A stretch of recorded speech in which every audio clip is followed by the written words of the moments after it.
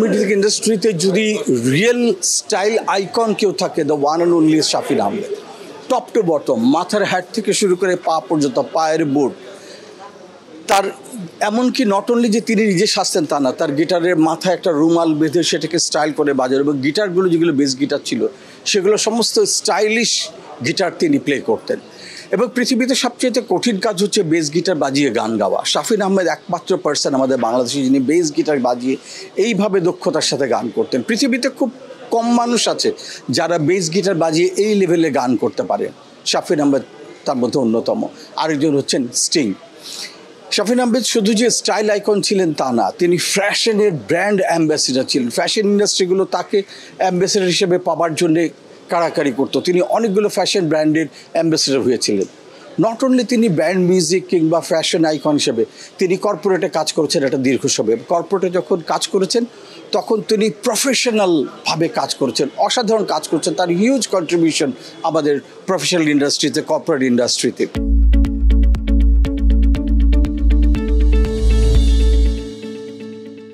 কেবল তাই না, একটা মিউজিকের রাইটস কি হতে পারে, একটা ব্যান্ডের রাইটস কি হতে পারে, একটা ব্যান্ড যখন পারফর্ম করতে চায়, একটা ব্যান্ড যখন অ্যালবাম রিলিজ করে, তখন তাদের কি কি আইনগত অধিকার আছে? এগুলো শাফিন ভাই খুব ভালো জানতেন এবং তিনি এটা নিশ্চিত করতেন যে যখন মাইলস পারফর্ম করছে বা শাফিন আহমেদ পারফর্ম করছেন, তখন সমস্ত লজ এবং সমস্ত আইনগুলো যেন মেনে চলা হয়। ভেরি পার্টিকুলার ছিলেন এবং সব ব্যাপারে উনি ভেরি স্পেসিফিক ছিলেন ভেরি ক্যাটাগরিক্যালি তিনি কথা বলতেন।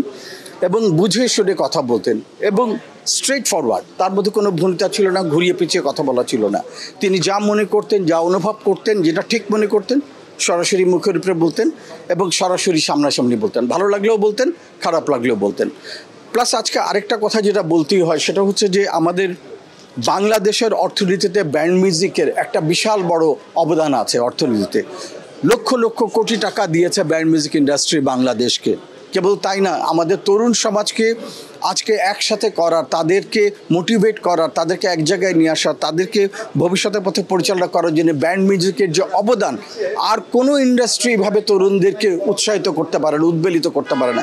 একমাত্র ব্যান্ড মিউজিক পারে কিন্তু দুঃখের কথা হচ্ছে যে আমাদের যারা পপ মিউজিকে ব্যান্ড মিউজিকে যারা এই বিশাল অবদান রাখছেন, তাদের কোনো রাষ্ট্রীয় এবং জাতীয় পর্যায়ে কোনো স্বীকৃতি নেই।